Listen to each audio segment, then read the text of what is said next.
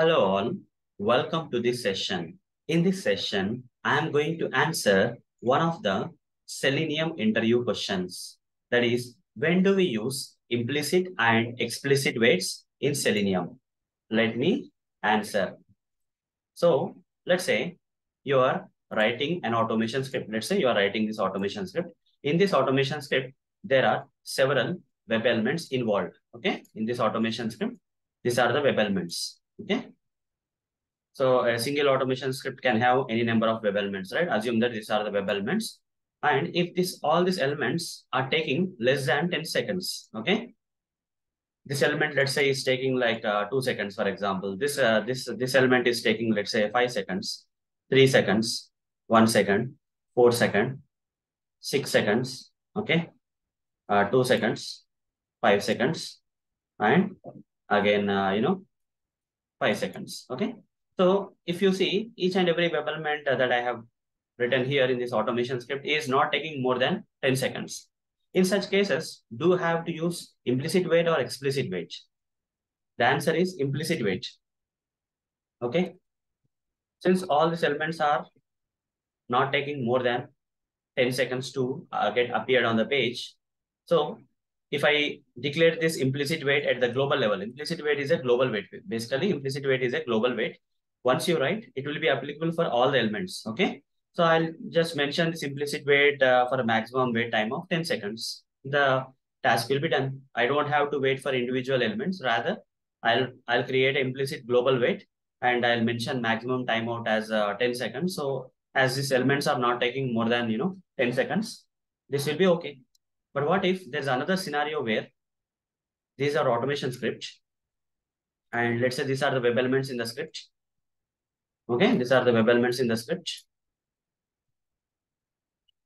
So let's say this element is taking two seconds, this one is taking five seconds, this one three seconds, this one four seconds, uh, this one one second. This one is taking 20 seconds. Okay, and this one is taking uh, three seconds, two seconds, and this one is taking 30 seconds. So there's a situation. You see, there are some web elements which are taking more than 10 seconds. So this part, this area, these elements, okay, which I have marked here, 2, 5, 3, 4, 1, 3, 2, are taking less than 10 seconds. For them, implicit wait, wait will be enough. Implicit, implicit wait will be enough. Global wait will be enough, okay? For max of uh, 10 seconds, if you declare, only one time you write, it will be okay. But there are other two elements. This implicit wait will not be applicable. I cannot put implicit wait as 20 or 30 seconds, okay? This is a problem, okay? Implicit wait, you cannot put 20 or 30 seconds, max 10 seconds. If if at all, next level, 15 seconds. In some rare projects, you just give the implicit wait as 15 seconds, but not more than 10 seconds in most cases. Okay. But there are some elements which are taking more than 10 seconds, that is 20 and 30 seconds. For them, we'll be using explicit wait. Okay. Only for this element, we'll wait explicit wait. Only for this element, we are going to explicitly wait. Okay. For the remaining elements, altogether global wait, implicit wait will be there. For these two elements, explicit wait will be there. Okay. We have to specially wait for this element. We have to specially wait for this element. Okay. We cannot make this uh, time as uh, implicit wait because uh, if there is any problem here, the script has to wait for total time. Okay. Let's say there is a locator problem here. So we know that uh, only two seconds, but uh, since locator problem is there, if, uh, even though this particular thing fails, it has to wait till 30 seconds. That is the problem. Okay. If it fails. That's the reason it's not recommended to provide implicit wait as 30 seconds and all, okay? Implicit wait is a global wait applicable for all the elements which are taking, uh, not taking more than 10 seconds, okay? Explicit wait is a specific wait if a particular element is taking 10 seconds, more than 10 seconds, okay? Like 20 or 30 or 40. Only for that elements we'll wait. That is explicit wait. It's not a global wait. It is a element, web element specific wait, Whereas this one is a global wait applicable for all the elements in the script. Okay. So let me practically demonstrate this, uh, how to implement implicit explicit. So here, this is some sample code. So where we are launching the Chrome browser, maximizing the browser window and opening this application URL in the browser. After that, we are clicking on a button. Then we are selecting this flip option. Now, if I implement the implicit wait here, driver dot manage dot okay timeouts This is how we have to implement the implicit implicit wait. Okay, driver dot manage dot timeouts dot implicitly wait. Here I have to give the time that is duration dot of seconds and uh, we should not we should be given like uh, not more than 10 seconds here. Okay.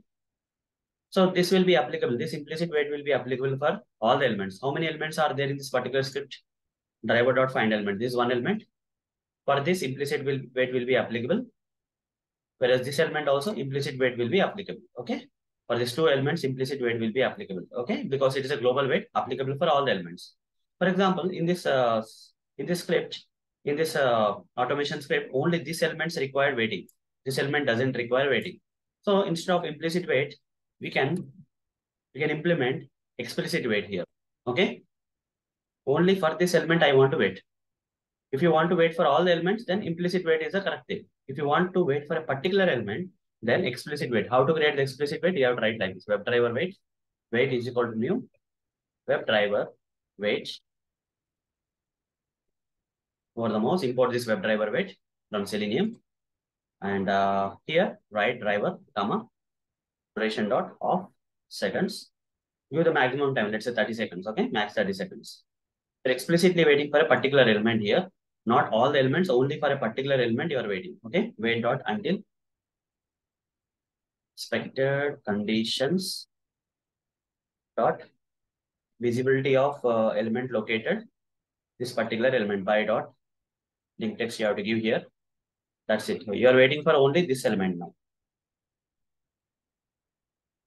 Done. You are waiting only for the flip cut option not for this drop down button and all. Okay this is what is explicit wait so hope guys you understood uh, what is implicit wait and explicit wait implicit wait is a global wait once uh, created right it will be applicable for all the web elements in that particular script. Okay we have to use implicit wait where uh, when we want when you want to create a global wait which is uh, which will be applicable for all the elements in the script. That is that is when we use implicit wait whereas if you want to wait for a particular element okay only for a particular element if you want to wait not all the elements in the script only for a particular element if you want to wait then you can go for the explicit wait okay so i have demonstrated this explicit wait here all right, implicit wait also I demonstrated already.